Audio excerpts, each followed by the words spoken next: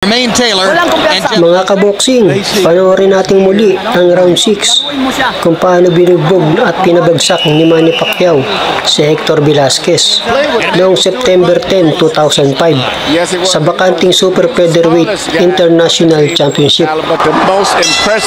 Ito na po at nagumpisa na ang round 6 considered the biggest puncher on the entire Olympic team in 2000, even though he was the smallest guy. at sa kasalukuyan si Velasquez ay may record na 42 wins na may 31 knockouts habang si Pacman ay may 39 wins at 30 knockouts.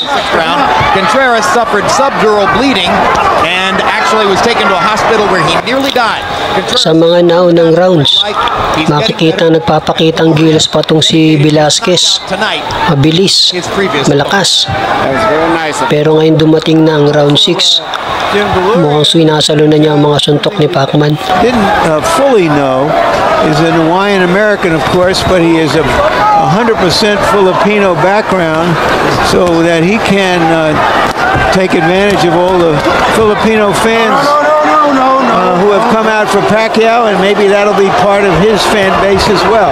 CompuBox numbers through round five. Pacquiao's landed 109 power shots. Velasquez has landed 68. Shows you what a dynamic offensive force Pacquiao is. Kung mapapansin nyo guys, ang gaganda na ng mga suntok dito ni Manny. Perfect opponent for him. Accurate na talaga. Fight with Morales because even though he may get tired and he's having a rough contest, this slow Malakas pa si Manny, pangiti-ngiti pa eh. him to be able to get away. Uh, there's a there's an abrasion alongside the left eye of Velasquez.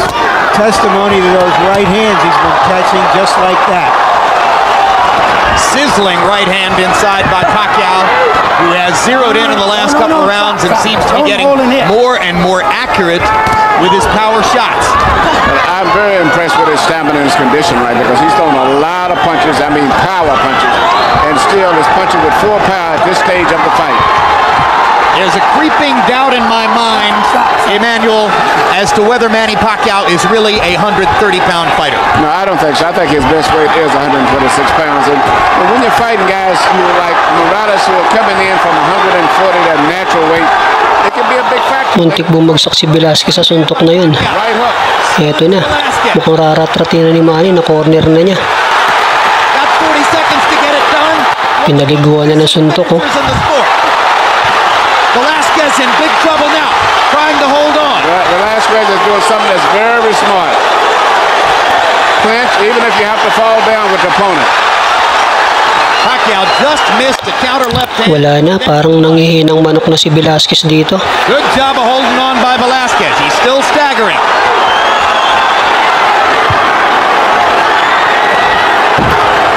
Velasquez is not only hurt, I think fatigue is a big factor now.